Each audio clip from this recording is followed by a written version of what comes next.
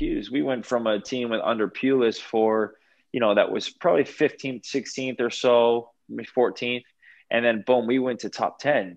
And it was just a different mindset. And, um, you know, it was nothing against Pulis, but I, I flourished in front under Mark Hughes and he put his faith in me and he relied on me. And, you know, I would run through a brick wall for him because I did well when I played for him. And he played me center half. He played me defensive midfield. I played right back. Pretty, he pretty much used me all around the pitch. Um, and for me, that was great because I got to play. I, I was I was playing every single week. Copa America, the World Cup.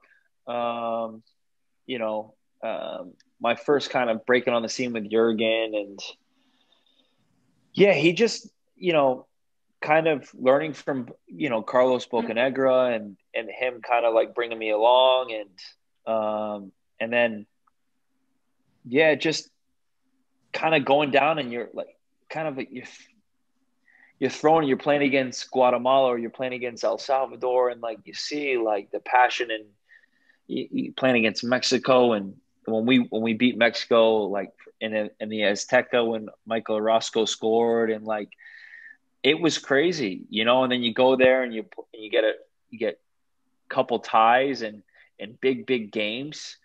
Uh, when you have like a hundred thousand people, you know, cheering you on and or no, not cheering you on, absolutely slaughtering you. when he took it over, like he he his expectations went way up here, and it's like, no, this is not good enough. The hotels, no, this isn't it.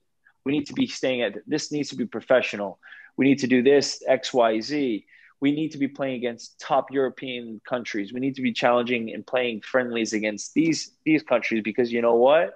This is where you get better. This is where you're playing against um, players that are playing in Champions League, playing Europa League, playing the Premier League, playing La Liga in, in Germany, the Bundesliga. These guys are these are the guys that you're going to see playing at a how how much of an honor it was to play for the national team, and then you know with the the last the last part of the qualifying, the last kind of the last disappointing part of my national team career was it was kind of taken away from me, and you know I uh, I'm not even gonna say his name, but when when when a when a manager says stuff that's not true or says you know I'm the scapegoat for being upset and being I'm being called the bad egg when that's never been the case. I don't want to get into politics and stuff like that, but it, it's more of like I would get messages from players and like, like I'm so happy you said that, or like I'm with you on this, but they wouldn't come out publicly. They won't say it because they're afraid of something. And I'm like, yeah, but what does that do? Whether you're conservative or liberal, like everybody should have a voice. And I think that's the biggest problem now. Is if anything, everything is offensive to everyone. Everyone is like, you can't say what you want to say now because if it doesn't follow like this way of thinking then like you're wrong and that's it and i hmm. think that's the problem like we are as a society are, are going is and that's like with football and anything like you don't see football just played one way now. Like it's multiple it's different ways. Is pep's way the only way of just playing tiki-taki football? No because if you think about it he's had to adapt his game and change it a little bit slightly to evolve with the time in football. And that's the same thing as when anybody says anything or their beliefs and like you know Aaron Rodgers came out I saw I saw I think and like he said something about like you know with the masks and stuff like they don't follow their own protocol.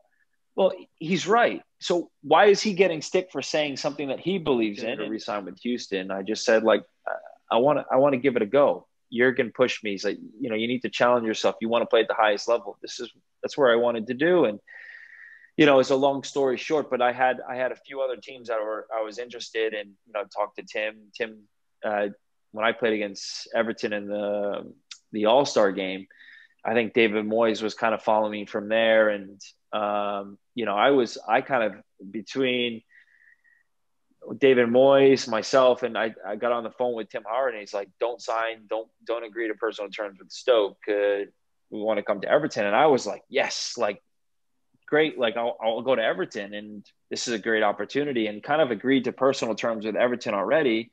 Um, but then there was a um, decision made by the league and um, they made the kind of decision to go with Stoke because they've already agreed on the price. And then I realized that you know later on it was um, you know Stoke had a part ownership in in in the MLS and or one of the owners, um, and they didn't kind of want to ruin that relationship at the time.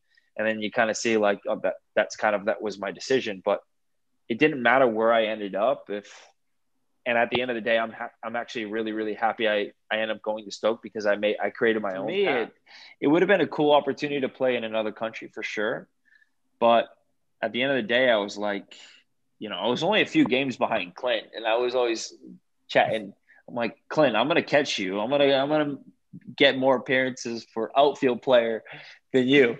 And I think the year I got we got relegated, I was like, oh shit, like yeah, I'm about 20 off of him, and I'm like, I knew I would have beat him. I would have for sure. I would have been able to hold that over his head, and then he would have just played the trump card and be like, well, you know, I've scored how many goals, and I'd be like, fair enough. I also fair have enough. to realize like it doesn't come easy. You got to grind. You got to work your your butt off, and you know there are moments where I wanted to go hang out with my friends and down the street and hang out with my buddies and my dad's like, I'm paying, I'm working a side job because I got to pay for your travel on the weekend and for a tournament, soccer tournament because it's not free.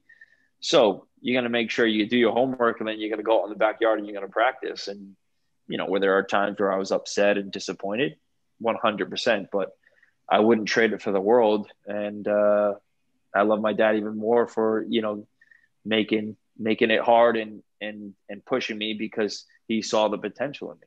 So, so um, it's really interesting in, in perspectives because everybody wants to win every single game, but in reality, you just know like because there's relegation, you know where you have to pick up points, and I think that's what I think I would love to see the MLS do something like that or have some some purpose of like it shouldn't be great if a team finishes bottom.